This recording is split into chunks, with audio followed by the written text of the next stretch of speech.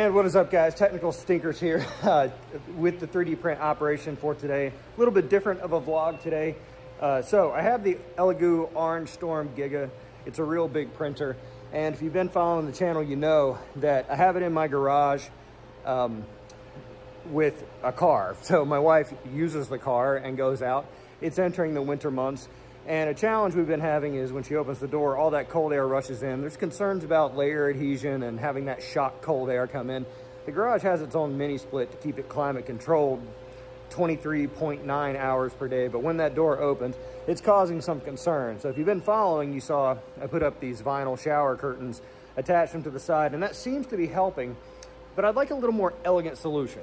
So I've seen other people make enclosures for the Giga, but that's like several hundred dollars for this Plexi, and I only I can only imagine they charge shipping on top of that because shipping four foot panes of Plexi uh, is probably not going to be cheap. But if you saw, I do have this really thick Plexi here, but it came up a little bit short. But I do have another sheet, a big honking eight footer, four by eight at the warehouse. So today our goal is to travel to the warehouse cut it to size, bring it back here, fine tune it, and make ourselves a hard enclosure for the Orangestorm Giga. So I got my tools just a level. I'm gonna use a little jigsaw for this one with a little uh, a metal bit. That should be fine. Again, not cutting precise. I'm just cutting it to size so it'll fit in the bed of my truck because I don't want a four by eight sheet of plexi flopping in the wind. It is 20 degrees out today here in Southern North Carolina. On top of that, I'm gonna take the opportunity. I've collected a bunch of uh, garbage. I have a dumpster at my warehouse, uh, but I'm not gonna use the dumpster. I'm gonna throw this all in the ocean. All right, and motherfuck, double motherfuck. All right, so I got the plexi out. Man, this thing's unwieldy. This is really thick stuff. I'm not, uh, it's about a quarter inch, I guess. It's a uh, Makrolon, so I guess it's like fancy plexi because I did, I dropped this twice. No shatters or anything, so uh, I've actually used this before in uh, my server closet and that thing, I beat the hell out of it and it didn't break. So got a little rough line there. I'm just gonna try to cut it and get it out of here. All right, so it's been a couple days and you have to pardon the uh, quality doing this on my phone. It turns me from white to yellow over and over again, but we're back here revisiting with the Giga. The Moai head is out, And so we're clear. Now it's time to start trying to fit in uh, and do our plexi enclosure. Wanted to start with the top because that's the area where things could fall into it. I've got my little shower curtains here on the side that would keep things from kind of going in. Uh, so how am I going to do this? All right, so I got this half inch EMT here. got plenty of it. This is the bracket that I designed in Shaper. It leaves a little bit to be desired. Um, looks like I'm about a quarter millimeter off from it fitting inside. But I was like, you know what? I need to really hammer this out today because I want to get printing on the Giga again.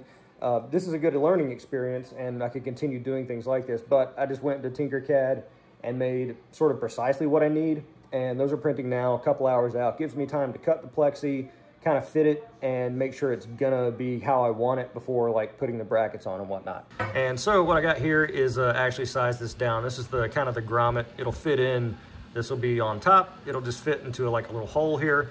And I've got this torus here, which is kind of, you know, somewhat chamfered out. Uh, and that will sort of allow the filament to sort of slide down through. Again, in the future, maybe do some do this in nylon. I don't have any nylon filament, and I've never used it before, but I think that would probably be the uh, the ideal scenario. Is that a gap right there? Oh my God. Well, the gap's not on the other side, so should be okay. And so over here on the Sovol, I have my bracket clips going. So just kind of a quick revision. This is what I had previously. Uh, I was just gonna slide the EM, EMT inside of it. This way, I just made them into clips. They're gonna be a little tight and they have sort of a slight sort of barb on them. Again, very simple design.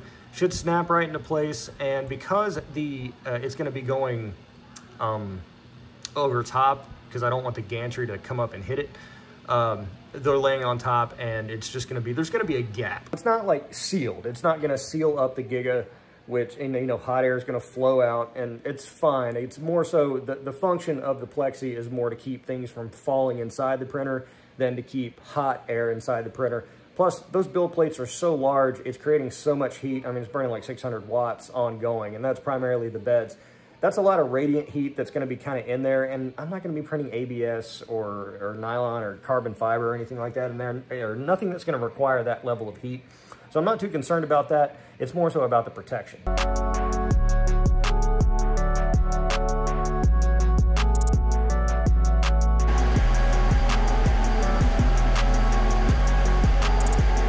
All right, so I got the test piece fitted in. Seems to be just fine. Didn't go all the way to the back. There are some gaps, and like I said, when the brackets are sitting here, the uh, the top of the plexi will be like about an inch uh, up, so it'll be all the way around. In the future, I could fill that in um, with probably something that's 3D printed, uh, but overall it looks pretty good. So now, because I used one of the older pieces of plexi, I have the two 4x4 squares for which I could use for the sides. So like I was saying, I don't really want a door per se, so I don't really have clearance for it. Um, what I'm thinking is something that like a pane that I lift off and like I put some brackets on the bottom so it just kind of rests on a ledge and then kind of, you know, locks into place, some kind of snap or holder thing to hold it on there. I could put something a little more permanent on the side of the machine um, because I'm not going in and out of the side, but at the front, you know, I don't want to have to be opening that door and worrying about the hinges, whether they're strong enough or whether the screws that are going into the plexi are, you know, too much stress on those. The plexi cracks and, you know, if you've worked with this stuff before, you know, it can be a little finicky. Now, this is really like high grade stuff. I don't know why we have this to begin with. Um, so, so it seems pretty sturdy, but I'm not trying to put it to the test. All right, so doing a bad job tubing, but I got the pane of plexi here on this side. Left it long, you know, because uh, I'm not gonna enclose the back or that side over there. Won't let the wall do that. Uh, but left it a bit long, you know, cover up some more area to keep air from kind of whooshing in there unnecessarily. Again, not trying to make it airtight. Uh, but I just utilized these, uh, these sets here in the T-bars. Just shot a little hex screw in there, there, there, there, there. Should be just fine, nice and sturdy, not overly tight.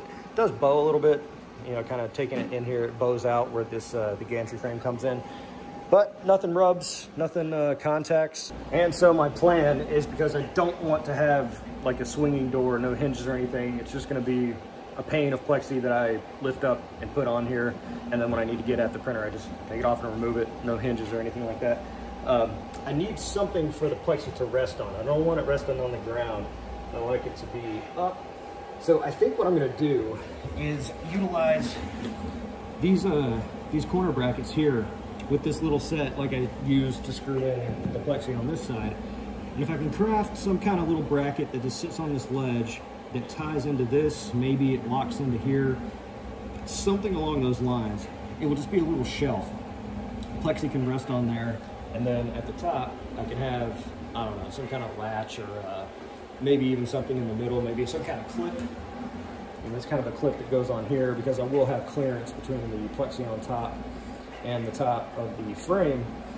Some kind of clip that just kind of, you know, you put the plexi in place and then you flip it down and it holds it in. So likely working on that, trying to de design something. And you know, you know my process. You've been following the channel, you know that I'll make 10 different things and try them out and tweak and tune them and then throw them away and try 10 new things until I find something that sort of halfway works and then I'll use that um, over the next few days. But again, I'm trying to get this thing moving and grooving.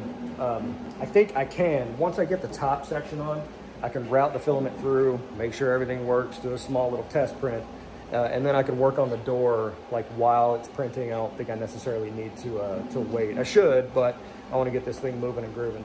All right, so bad job YouTubing, but I got my big uh, my big doink in here. I got the brackets out. You can see the brackets are pretty simple. I think I showed them already, but again, these are the ones I did in Tinkercad. The uh, the half inch EMT snaps there. I guess I was a little hot on that one, huh? Uh, but I got that half inch EMT in here times three. And like I was saying, it leaves a gap here in the back.